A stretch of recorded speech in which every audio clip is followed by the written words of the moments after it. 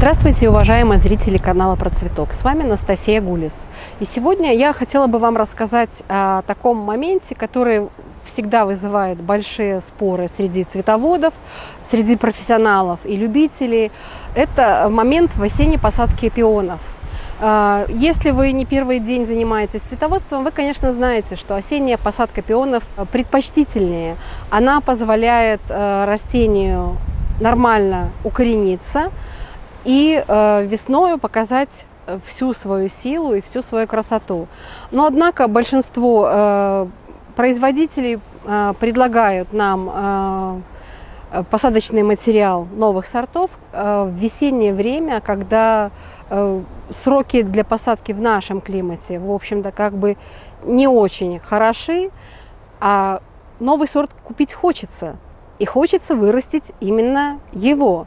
Придется идти на компромисс с природой, поскольку пионы это растения умеренного прохладного климата. У них э, образование и развитие новых корней происходит в прохладной почве, то есть температура на уровне основного расположения корней, это где-то 20-25 сантиметров, должна быть не более 5 градусов Цельсия.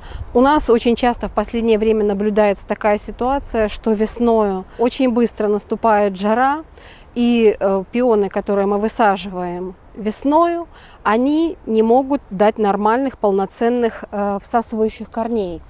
Какие корни у нас являются всасывающими? Вот на этой зеленке пионов мы можем хорошо увидеть, что у пионов имеются запасающие корневища. Это вот такие толстые, а, как пальцы, корневища. Э, и на самом деле э, они, конечно, важны для пиона, но для его оптимального и нормального развития наибольшее значение имеют вот эти маленькие, тоненькие всасывающие корешки.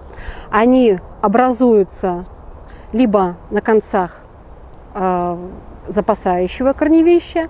Но у некоторых сортов они образуются также у основания почек спящих. А, если мы сажаем в пион в теплую почву, и после этого у нас наступает жара, то вот эти всасывающие корешки, они очень часто у посадочного материала в принципе отсутствуют, а этот материал хранился вот как раз при оптимальных условиях. И э, вот именно такую деленку вы в принципе можете высадить сразу в грунт. Если знаете, что как минимум две недели после посадки у вас э, не будет летних температур дневных. Э, либо э, устраивать надо притенку над э, участком, чтобы защитить почву от перегревания. Также можно использовать мульчирование светлым материалом, таким как опилки, но единственный момент, что опилки после укоренения, появления ростков обязательно необходимо снять, потому что они закисляют почву, пионы не переносят кислых почв, они очень отрицательно реагируют на них. Например, вот эта деленка, ну, во-первых, она из другой группы, э, этим может объясняться. Но вы видите, что у нее практически и нету всасывающих корешков, за исключением вот этого, да. Ну, вот здесь вроде что-то пробуждается. Чтобы этой деленке дать шанс на выживание, ее придется сажать с хитростью.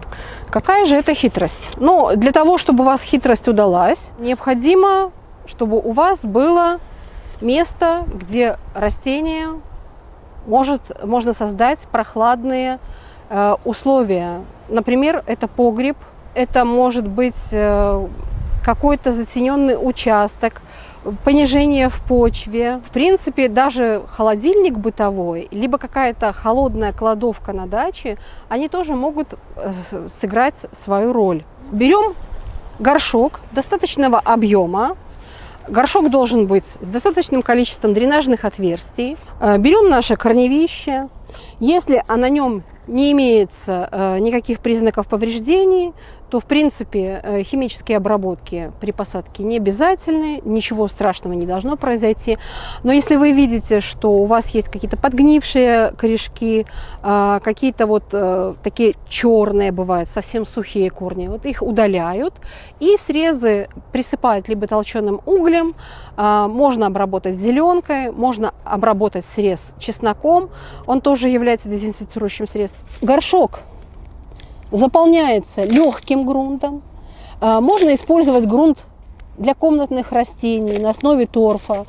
Единственное требование, что этот грунт не должен быть кислым. Он может иметь слабокислую реакцию, но кислым он не должен быть. Вот. И мы размещаем в горшке, то есть он должен давать достаточную свободу нашему корневищу, этот горшок. Вот, и засыпаем почвой.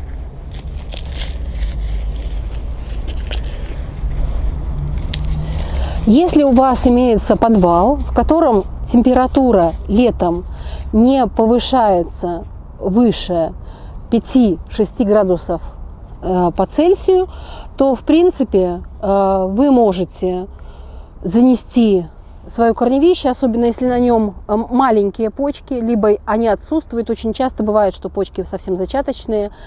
Прямо в таком виде, в горшке, в этот подвал, и держать его там до осенней посадки. А, ничего страшного не произойдет, если ваши маленькие почки, они в, в темноте, естественно, будут вытягиваться, будут э, бледные, не очень красивые, но э, при этом у вас образуются полноценные всасывающие корешки. Вот. И когда придет срок осенней посадки, вы без труда вынимите свое корневище из горшка и высадите на постоянное место. А если же в вашем погребе, либо в месте, куда вы собираетесь э, разместить свой горшок, очень сложно поддержать температуру до 5-6 градусов Цельсия. Если температура там поднимается до 10-12 градусов, э, то, в принципе, это место тоже подходящее, но э, держать там растение до осенней посадки не стоит.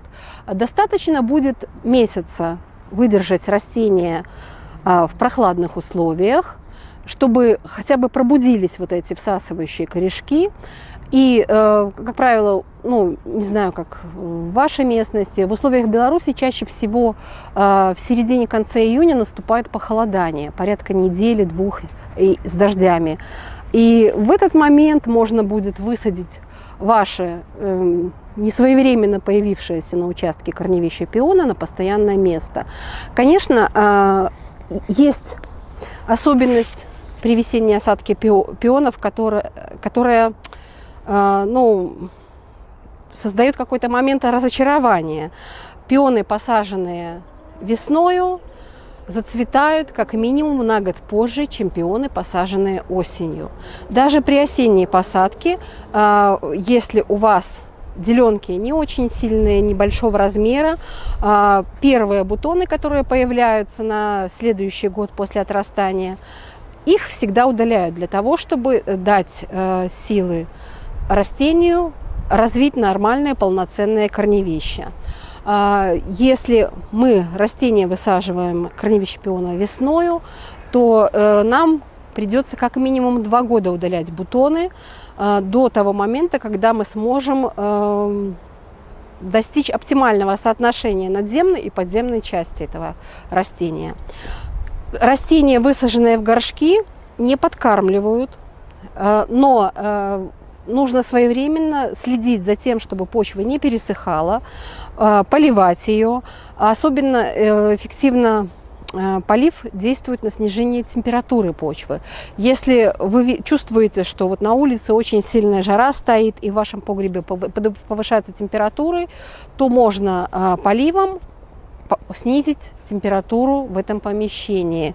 Вы, когда поливаете почву, вода испаряется и охлаждает почву. Вот поэтому очень важно, чтобы в горшке было достаточное количество дренажных отверстий, чтобы вода не, не просто охлаждала, но и стекала, чтобы не было застоя ее.